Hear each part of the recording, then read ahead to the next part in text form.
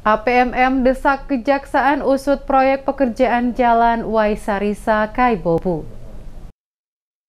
Aliansi Pergerakan Mahasiswa Maluku mendesak pihak kejaksaan mengusut proyek pekerjaan ruas jalan Waisarisa Kaibobo yang dikerjakan CV Trisetia Nova 5 karena diduga tidak sesuai dengan rencana anggaran pelaksanaan. Aksi demo mahasiswa ini digelar di kantor Kejaksaan Tinggi Maluku pada Jumat 30 September. Koordinator aksi Karim Tamarele menuntut Kejaksaan Tinggi Maluku segera memanggil Anwar Pati selaku Direktur CV Trisetia Nova 5 yang mengerjakan pembangunan jalan tersebut. Menurut Karim, sejumlah item pekerjaan yang tidak sesuai dengan rencana pengerjaan proyek karena anggaran yang seharusnya diperuntukkan untuk hot mix, tetapi kenyataan di lapangan hanya lapen. Hal ini dikhawatirkan akan berdampak buruk pada kualitas jalan dan bisa saja berpotensi merugikan negara serta masyarakat.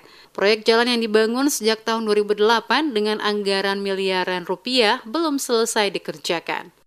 Kasus jalan tidak sesuai dengan keinginan masyarakat yang ada di Wasarisa kemudian Kaibobo. Salah satu kontraktor adalah Anwar Pati dengan menghilangkan anggaran sebesar 9,7 miliar jalan sampai hari ini tidak dinikmati oleh masyarakat setempat.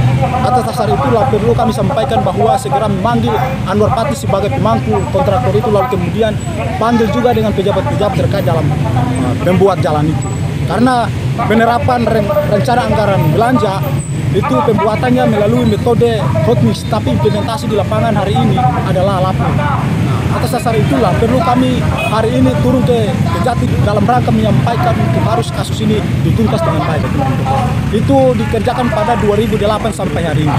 Belum tuntas? Belum tuntas Pak.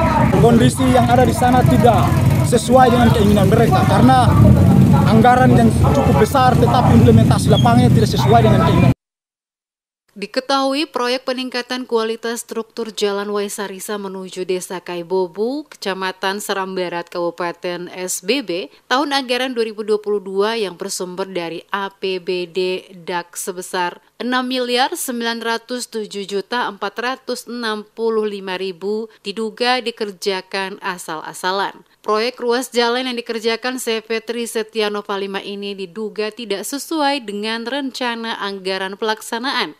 Kenyataan di lapangan, batu 57 digabungkan menjadi satu dengan batu 23 tanpa perekat aspal. Batu 23 yang dipakai bukanlah batu hasil pecahan pengrajin batu, akan tetapi batu ukuran 23 kerikil hasil tapisan atau blending sendiri oleh para pekerja. Jika batu jenis ini digunakan, akan hancur saat pengerasan batu oleh alat pemberat. Untuk diketahui, proyek jalan itu dikerjakan oleh CV Trisetia Nova 5 dengan menelan anggaran sebesar 6 miliar 907 juta 465 ribu. Anggaran itu bersumber dari APBD DAK tahun 2022.